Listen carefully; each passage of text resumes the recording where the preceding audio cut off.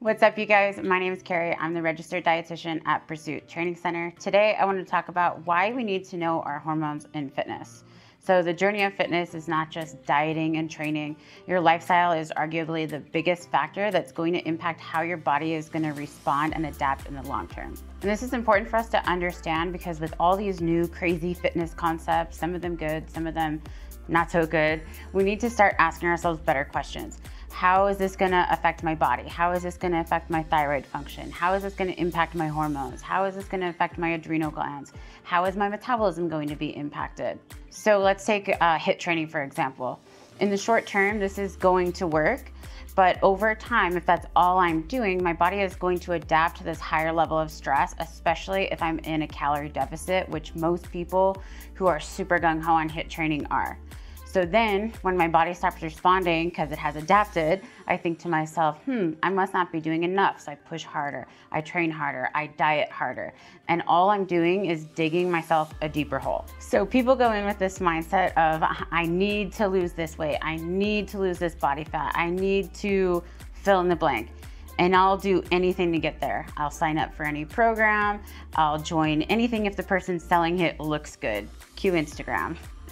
But what happens when they get their weight down? What happens when they get there? What did they have to sacrifice and what are the consequences? So in doing so, most people change their sex hormones, they change the way their thyroid functions, they change the way their metabolism functions because the amount of muscle loss versus fat loss. And we don't realize what's going on at the time because we are so preoccupied with what the scale says and weighing a certain amount. But remember, we need to ask ourselves what are the consequences of that? What's gonna happen when I'm 25, 35, 45, 55, and beyond? This stuff is very real and it's way too common, and here's why. People these days are just way too stressed out.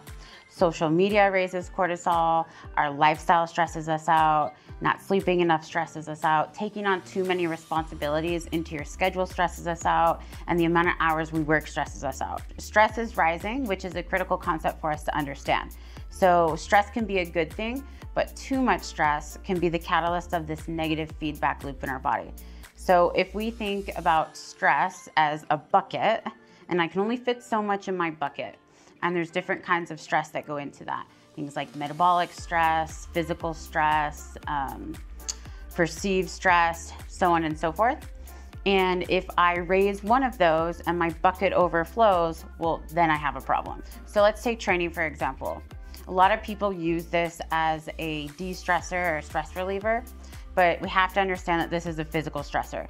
So if I'm adding this physical stressor on top of an already stressed body that's been dieted, sleep deprived, so on and so forth, they don't just cancel each other out, they magnify each other. Stress bucket looks different for the pro athletes and the influencers that you idolize. It's their job to eat well, rest, train hard, look amazing, and manage their stress.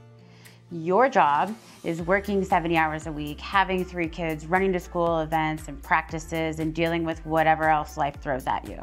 You can't expect to apply the same concepts to your already crazy stressful lifestyle. And then on top of this, you're adding in fat burners and supplements that you don't even need. You're doing all the cardio in the world. You're not eating enough because you're running around like crazy and don't have time. So in reality, you're starving yourself and bottoming out your calories without even realizing it only to then on the weekends eat way too much because you're so stressed out and that's how you cope with it. Not only does this create a poor relationship with food, but eventually something's gotta give and it's going to be your hormones. The reality is we're just doing way too much. If you live the modern American high stress lifestyle, you do cardio, you train, and you calorie restrict, you are going to throw your hormones out of whack. It's bound to happen eventually. And when it does, how you handle it is going to dictate what happens the rest of your life in your fitness, health, and your body composition. And if you just keep using band-aid solutions and never address your stress bucket, these hormonal imbalances are going to exacerbate to bigger issues. Things like gut dysbiosis, leaky gut, insulin resistance, weight loss resistance, and impaired metabolism. And we're gonna talk about this a little bit more in part two, so make sure you watch that one as well. But this is why we get blood work done on all of our clients. We wanna know their baseline and where their hormones are at before they start, so that way we can structure the nutrition and training protocol accordingly. Thanks so much for listening. Make sure you like, subscribe, and send to a friend, and I will talk with you guys in part two.